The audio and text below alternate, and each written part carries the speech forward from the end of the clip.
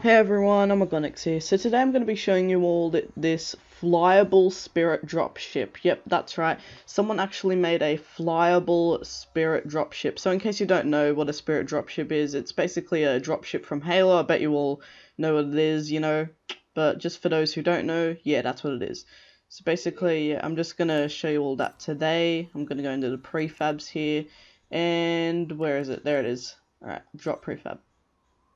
There we go. So I expect it to be larger, but who cares? So as you can see, uh, this is the Spirit Dropship.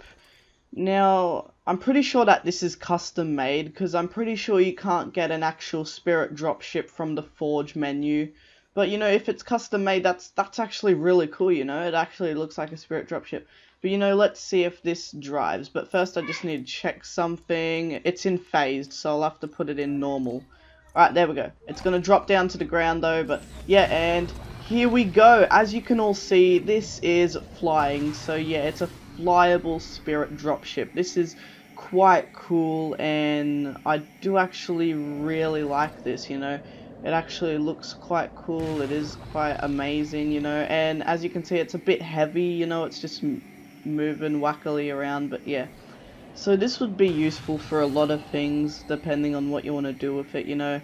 If you want to use it in a custom game, you know, something like that, you know, you want to see versus the Covenant, you know, uh, yeah, there's a lot of uses for this, you know, but it's a bit heavy, you know. But uh, yeah, I really do like this, you know, it actually looks like a spirit dropship, and yeah, I think it's really cool, you know, you can show it to your friends and all. Alright everyone, so that's the end of this video. Sorry that was short, but yeah. So if you did enjoy, don't forget to like and subscribe for more uh, Forge reviews and stuff like that. And yeah, I'll see you all soon. Bye bye.